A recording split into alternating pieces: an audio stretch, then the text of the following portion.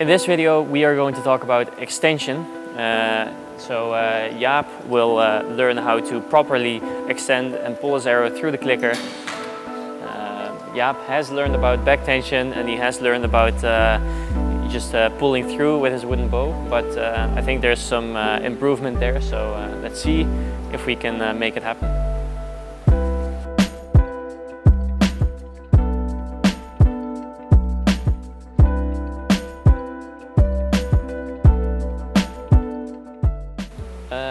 Shoot a shot for me and I will see how you extend and uh, see if there's any room for improvement.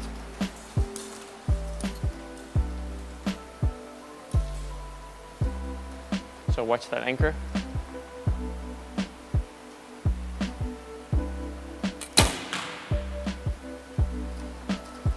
So another one, because I uh, think I saw something that we can improve on, but uh, I need to make sure that it's not, uh, not a fluke.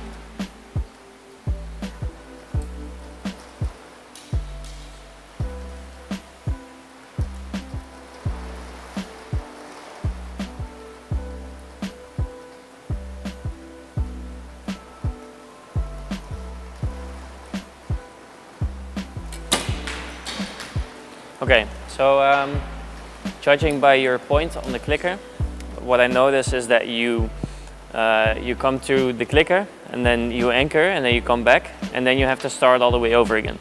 So this will cost you more energy than needed and um, I think it would be good if you could uh, pull back, anchor and keep it going. So instead of anchoring and then falling back and then getting it going again, uh, maybe see if you can uh, make it one movement uh, apart from each other. So keep moving this hand away from the other. Preferably by pushing this one forward rather than pulling this one backward.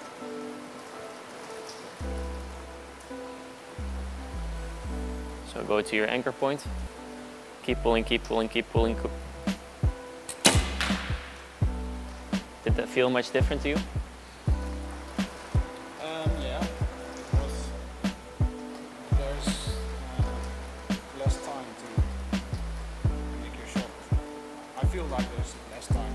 Okay. because And is that a negative thing? um, yeah, well, because I uh, look at the clicker, then go to my side, and I have to put it on the yellow. Hmm.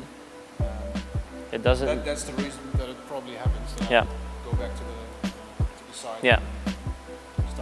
Yeah, so that, that's a good focus point for you. So when you when you anchor, um, it's easy to then look at the clicker and think, okay, I'm there, and then go back to the Yeah. to the sight and then sort of collapse a bit. Um, and I think we can work on this and uh, make it easier for you to get through the clicker because I've shot a couple days with you where at the end of the competition it's more difficult for you to get through the clicker.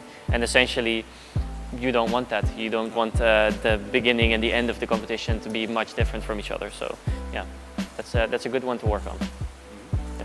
So um, uh, it's important to keep moving, but you don't have to do it fast. So you can uh, allow yourself to have a little bit more time in the shot by just moving a little slower. Uh, as long as you keep moving, I think it's better to move slowly than to move quick and go back and forth. So um, yeah, keep it controlled. The movements don't have to be very quick or very fast. So keep it smooth, go to your anchor point, and slowly keep going, keep going, keep going, and there you go. Did you feel like you had more time in that shot?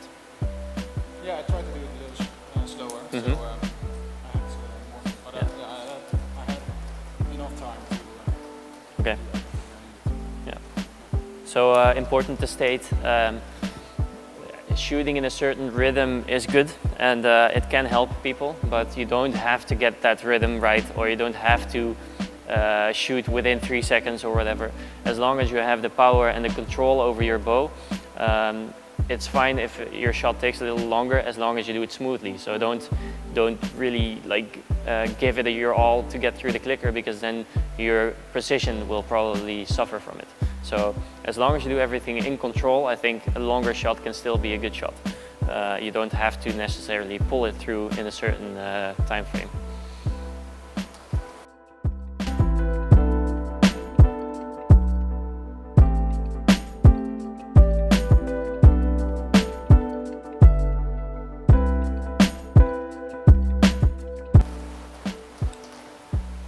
I'm going to put my hands on your shoulders and I'm going to sort of direct your shoulders into the direction that they should be going, in my opinion.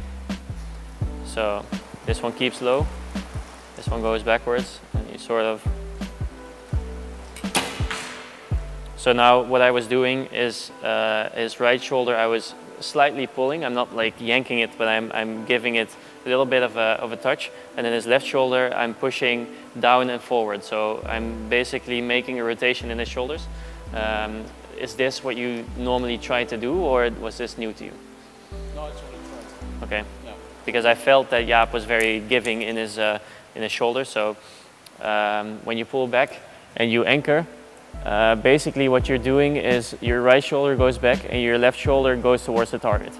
Um, there's also people who say uh, both my shoulder blades go towards each other, but to me that doesn't make a whole lot of sense because then what you're doing is um, putting a lot of tension in your back without anything sort of happening. Um, I'm sure that it works for some people, but I think this is a more easy way to get consistent and get higher scores. So. So just keep it smooth, uh, keep it controlled. You don't have to necessarily work as hard as you can, as long as you keep moving. So to that anchor point that we discussed.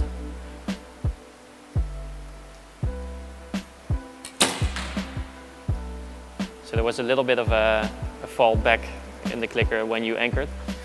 Um, Jaap, you look at the clicker when you, uh, when you anchor. Um, and after Jaap looks at it at the clicker uh, and goes back to his side, uh, he tends to, uh, yeah, uh, sort of, uh, yeah, sort of get back or, or, or collapse a bit into his draw length. Um, this is something that's easily fixed by just doing it a lot um, and um, just trusting that in the moment that you go from the clicker to the side, the clicker won't go, or if it does go, uh, that you have the control to not shoot the shot immediately.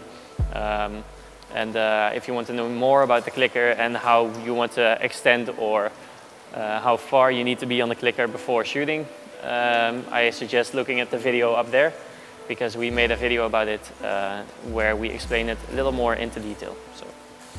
So another thing you can look at while uh, checking extension and, and if uh, the balance between the back and the front is good, uh, you can check if the string moves on the shirt or on the chest protector if you wear one.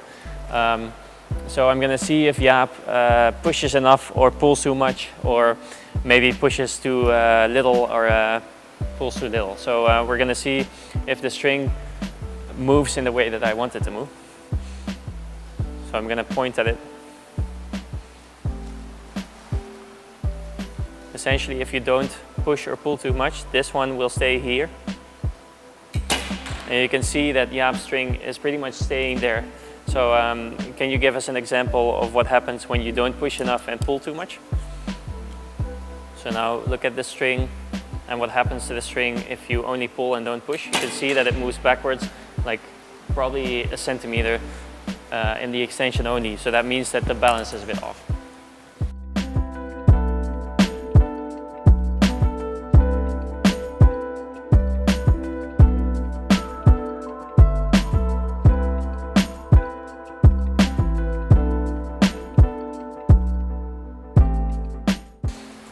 But um, yeah, the lesson for you, I think, in this video is uh, to keep it moving.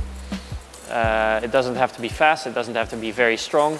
As long as you keep it moving and keep it smooth, um, yeah, that's, your extension is uh, quite good already.